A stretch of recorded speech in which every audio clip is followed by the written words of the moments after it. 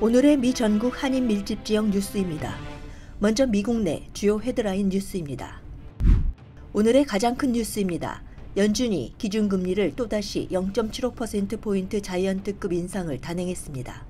지난 6월과 7, 8월에 이어 4차례 연속 0.75% 급격한 금리 인상이 이루어지면서 이제 미국 내 기준금리는 3에서 3.25%에서 3.75에서 4% 범위로 훌쩍 뛰게 됐습니다.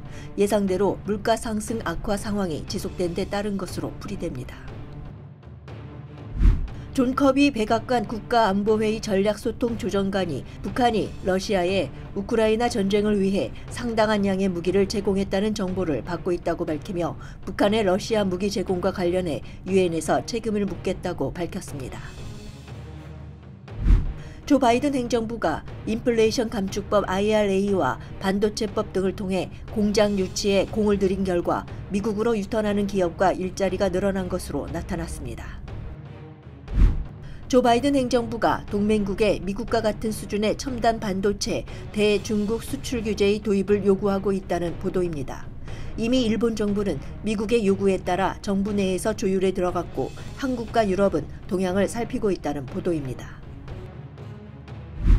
낸시 펠로시 연방 하원 의장의 남편 폴 펠로시를 자택에서 둔기로 공격한 범인이 침입하는 장면이 CCTV로 생중계됐지만 아무도 이를 보고 있지 않았던 것으로 드러났습니다. USKN 뉴스 이 프로그램은 항상 여러분 곁에 있는 헬스케어.gov가 제공합니다. 헬스케어.gov에서 저렴한 비용으로 종합 건강보험에 가입할 수 있다는 사실을 알고 계십니까? 의료 진료, 처방약, 예방 진료 등이 보장되는 헬스케어.gov의 건강 플랜은 유명 민간 보험 회사들에 의해 제공됩니다. 새로운 법률에 의해 보다 많은 분들이 더 낮은 보험료로 질 높은 플랜을 찾을 수 있게 되었습니다.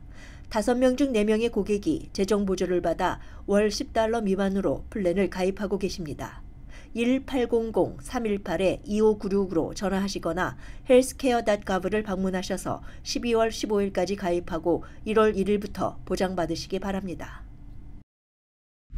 월마트, CBS, 월그린 등 거대 약국 운영 기업들이 마약성 진통제 오피오이드 남용 중독 사태와 관련해 총 138억 달러를 합의금으로 지급하기로 했습니다. 차량 공유업체 우버가 시장 기대를 웃도는 3분기 실적에 힘입어 주가가 급등했습니다. 실적 발표 전 증권 시장 우려가 나왔던 음식 배달 부문에서도 예약 규모가 전년 동기 대비 19% 늘었습니다. 아마존의 시가총액이 코로나19 사태 초기인 2020년 4월 이후 처음으로 1조 달러 아래로 떨어졌습니다. 투자자들은 지난주 아마존이 어두운 4분기 전망을 내놓자 실망하고 있습니다. 고품격 정보 주간지 PNS 제공 LA, OC 등 미서부 한인 밀집 지역 소식입니다. 캘리포니아주의 주인이 찾아가지 않아 휴면 상태로 방치한 미청구 재산이 120억 달러 가까이에 달하는 것으로 나타났습니다. 미청구 재산에는 은행 계좌와 대여금고 내용물, 주식, 배당금, 현금화하지 않은 자기앞 수표와 money order, 유산 등이 포함됩니다. LA 13지구 최대 5천불까지 자체 렌트비 지원 프로그램 신청 접수가 오는 4일까지 마감됩니다. LA 13지구에는 한인타운 인근 윌셔 센터와 그레이터 윌셔, 실버레이크, 에코파크, 램파트 빌리지 등이 포함되어 있습니다. LA 한인타운은 청소년회관 KYCC가 문의와 신청 접수를 지원하고 있습니다. LA 웨스턴 Avenue와 산타모니카 Boulevard 인근 지역에서 여성에게 다가가 자신의 차로 유인한 뒤 외딴 곳에서 총기로 위협하고 성폭행을 해온 남성의 몽타주를 공개한 경찰이 제보를 당부하고 나섰습니다. 어제 오후 애틀란타발 LA행 Delta Airlines 2846기에 연기가 가득 차 비행기가 Albuquerque International Sunport에 비상 착륙하는 일이 일어났습니다. 연기의 원인은 엔진 결함으로 최악의 참사가 일어날 뻔했던 것으로 승객들은 놀란 가슴을 쓸어내려야 했습니다.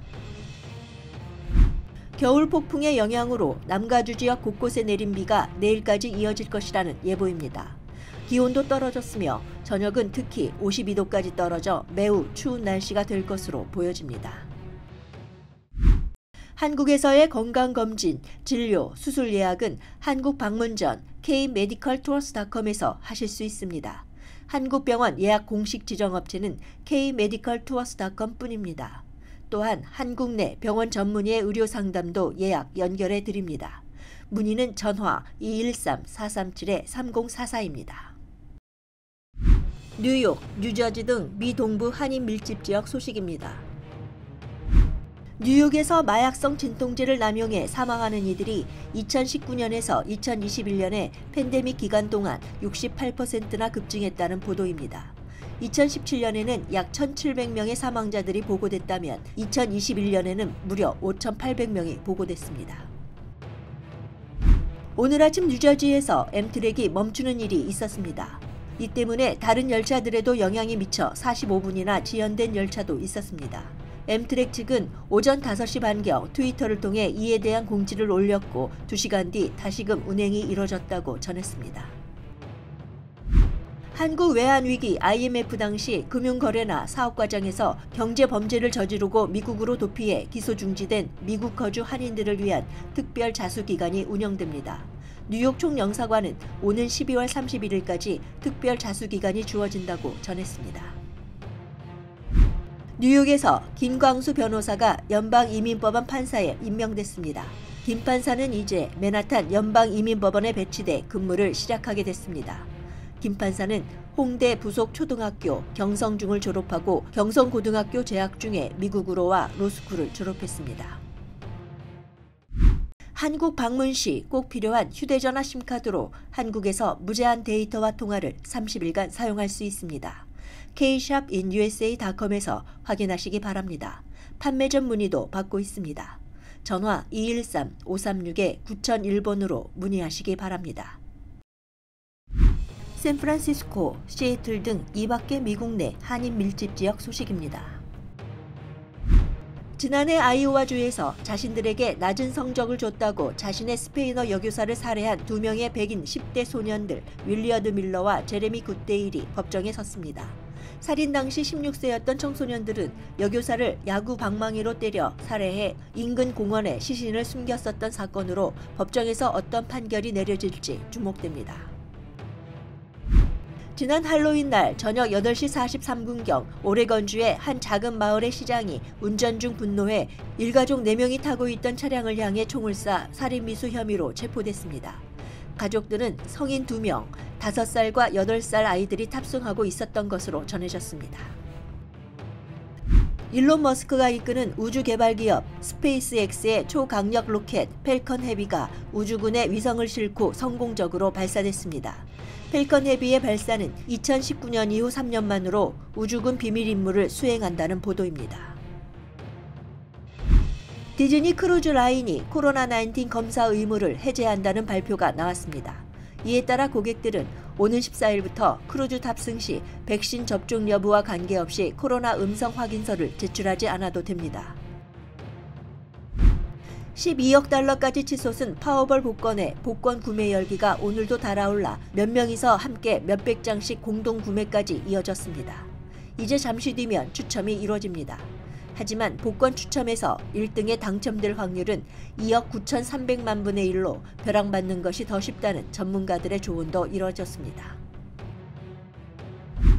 한국산 식품, 생활용품, 가전용품과 반려동물 사료 등 다양한 제품을 아마존과 같은 온라인 한인 오픈마켓 kshopinUSA.com에서 구매할 수 있습니다. 한국에서 직구도 가능합니다. kshopinUSA.com입니다. 지금 무료 회원 가입하시면 특별 혜택까지 누릴 수 있습니다. kshopinUSA.com입니다. 미 전국 한인 사회 소식 제보를 받고 있습니다. 주변에서 일어난 크고 작은 사건이나 목소리를 내고 싶을 때 이메일 newsandUSKNnews.com이나 전화 213-986-2624번으로 제보해 주시기 바랍니다.